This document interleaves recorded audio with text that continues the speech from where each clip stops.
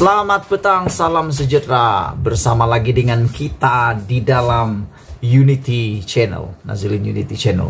Selamat menyambut Hari Pesta Kehormatan bagi mereka yang menyambut Hari Kehormatan dan bagi yang tidak menyambut pula selamat tidak menyambut. Eh, tidaklah ujah.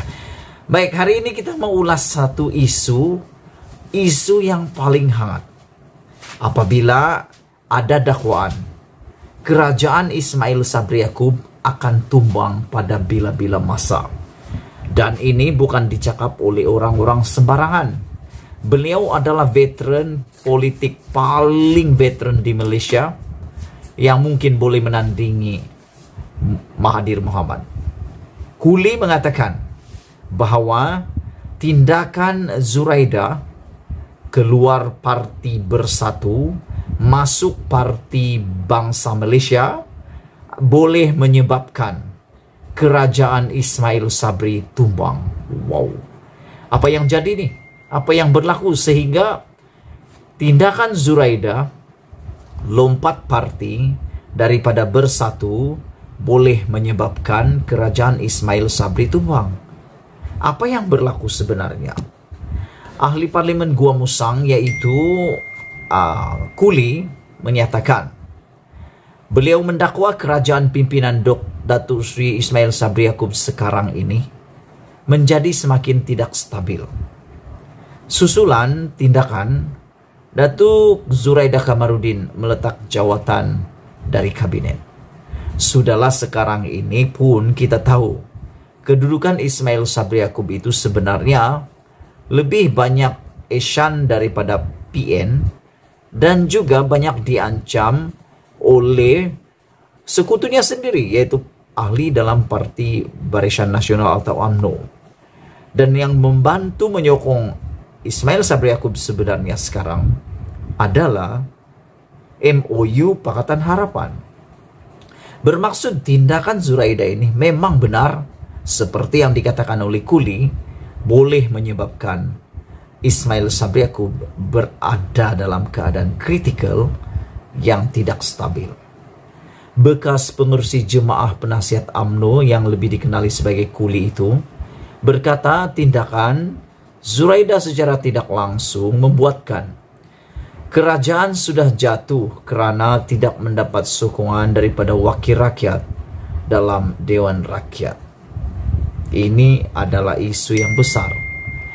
Bukan isu yang kecil apabila sokongan daripada wakil rakyat dalam Dewan Rakyat sudah tiada. Kalau ini benar, bermaksud Ismail Sabreku perlu letak jawatan seperti yang berlaku pada Mahathir Muhammad dan juga Muhyiddin. Apabila mereka sedar, mereka sudah hilang sokongan daripada ahli Dewan Rakyat atau ahli Parlimen. Kuli berpendapat jika Zuraida dan tiga lagi ahli parlimen menarik sokongan, maka kerajaan sedia ada menjadi semakin tidak stabil. Malah mungkin jatuh kerana tidak mendapat sokongan dalam Dewan Rakyat. Bermaksud menurut Kuli hanya perlu empat. Kalau empat ahli parlimen menarik sokongan terhadap Ismail Sabri Yaakob, bermaksud mungkin kerajaan tidak lagi mendapat sokongan dan kerajaan sedia ada akan menjadi tidak stabil dan boleh runtuh bila-bila masa. Mengikut perlembagaan, Perdana Menteri kena diundi dalam Dewan Rakyat. Tetapi dari segi moralnya, mana-mana kerajaan mesti mendapatkan sokongan dan merasakan mendapat keyakinan ahli-ahli Dewan. Tapi kalau sudah ramai keluar, ahli kabinet sendiri berhenti, kerajaan yang ada menjadi kerajaan yang lemah. Kalau dicabar untuk mengundi, saya rasa satu jalan keluar sahaja. Perdana Menteri mesti menghadap yang di Pertuan Agong, Al Sultan Abdullah Riyaduddin Al Mustafa Billah Shah, katanya mengikut laporan BH selepas merasmikan mesyuarat Persatuan Ibu Bapa dan Guru PIB jadi Sekolah Menengah Kebangsaan Tengku Indra Petra SMK TIP 2 di Gua Musang. Zuraida semalam meletakkan jawatan sebagai Menteri Perusahaan Peladangan dan Komoditi serta keluar bersatu dan menyertai Parti Bangsa Malaysia PBM. Ahli Parlimen Ampang itu juga mengumumkan peletakan jawatan sebagai Menteri Perusahaan Peladangan dan Komoditi. Bagaimanapun, Zuraida berkata beliau kekal menyokong kepimpinan Ismail Sabri sebagai Perdana Menteri. Mengenai rang undang-undang RUU anti lompat parti yang dijangka dibentangkan Parlimen Julai ini, Tengku Razali berkata RUU berkenan tidak akan berjaya. Wow, kenapa tidak boleh berjaya? Saya sebagai penganalis uh, pemerhati politik, saya amat mengharapkan RUU anti uh, akta anti lompat parti ini mestilah diluluskan dan mesti di, di, dilaksanakan di Malaysia. Sekiranya ia gagal dilaksanakan, saya jamin sampai bila-bila kestabilan politik Malaysia tidak akan pernah tercapai lagi. Kerana mereka akan senang-senang dibeli, dijual, dan juga lompat parti. Akta yang dibuat di parlimen untuk mencegah lompat parti tak akan berhasil. Kerana menurut Kuli dalam perlembagaan, hak seseorang memilih pandangan dan parti yang dikehendakinya tidak boleh diusik. Tapi kalau begitu bagaimana dengan hak pengundi pula?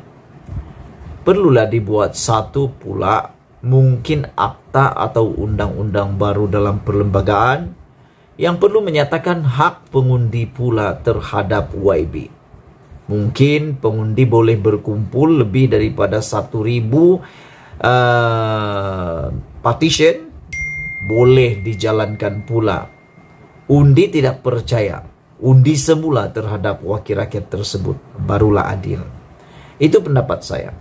Kalau akta anti lompat parti tidak dipersetujui oleh YB YB ahli parlimen yang ada di parlimen Dewan Rakyat, perlu dibuat undang-undang baru yaitu apabila seribu pengundi yang ada dalam kawasan tersebut ataupun lebih 20% daripada pengundi dalam kawasan itu membuang partition lulus dapat partition. 50% lah katakanlah 50% telah menandatangani partition perlulah diadakan pilihan raya kecil di kawasan tersebut baru adil. Karena kalau mereka tidak didapat ditegah oleh perlembagaan, tolonglah kekalkan hak pengundi pula. Perjuangkan hak pengundi pula. Jika tiba-tiba parti kita terbubar, ke mana kita nak pergi apabila ada akta tidak boleh lompat parti? Tidak ada logik dari segi perundangan. Kerajaan tak boleh buat halangan dan sekatan macam itu kalau tiba-tiba berlaku emergensi, tetap akan berlaku lompat parti untuk tubuh kerajaan baru atau nak keadaan huru hara katanya lagi. Aku nak bagi tahu kamu semua, kuli ada rekod lompat parti. Semangat 569 kalau aku tak silap lah. Jadi mungkin inilah sebabnya kuli menyatakan bahwa perkara ini tak akan jadi.